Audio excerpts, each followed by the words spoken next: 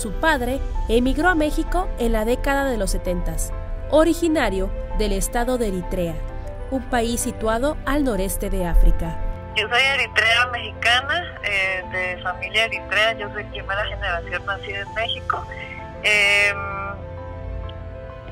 que me presento como persona afromexicana, a veces me presento como persona eritrea mexicana, a veces como persona negra. Considera que la afromexicanidad es muy diversa. Solamente personas que eh, nacen y crecen, digamos, en territorios históricamente poblados por población afrodescendiente de aquella época de la colonia, este, sino que también se empiezan a configurar nuevas generaciones, digamos, de migraciones más recientes. Medhin se profesionalizó como cineasta y su primer largometraje es un documental denominado Negra, el cual ha trascendido en los últimos dos años en diversos festivales de cine.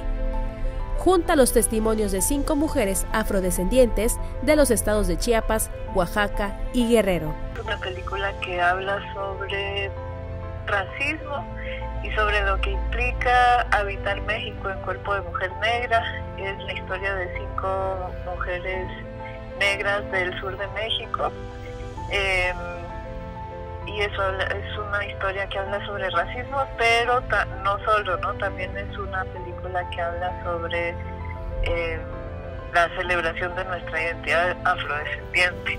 Interesada por visibilizar la identidad negra a través del séptimo arte, actualmente se encuentra trabajando en un cortometraje de ficción, mismo que hablará sobre el personaje histórico Gaspar Yanga. Porque vi que, bueno, primero que no hay mucha, mucho material o mucha producción que retrate la afrodescendencia desde una perspectiva digna, digamos, y representativa, digamos, de nuestras identidades. Eh, y segundo, que hay muy pocas personas afro haciendo cine. Para Alerta Chiapas, Carolina Castillo.